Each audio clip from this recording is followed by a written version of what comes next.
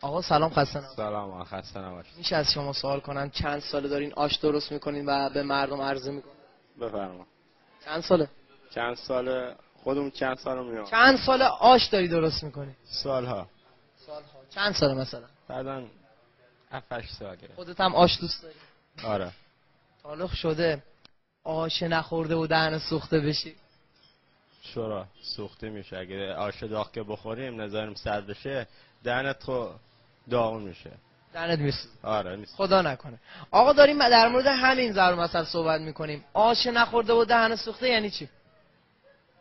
آش اگه سرد نشه گرم گرم بخوری به چه فایده؟ آقا یه آش فروش ما داریم در مورد این ضرب مثل صحبت می‌کنیم.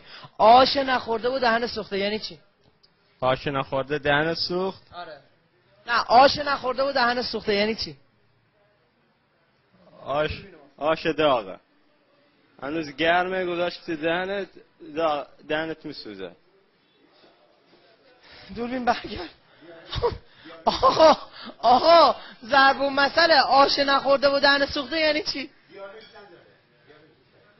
خب آش میگم داغه. دهنت تو چجور می... آقا که می‌ذاری تو دهنت؟ میسوزه دهنت.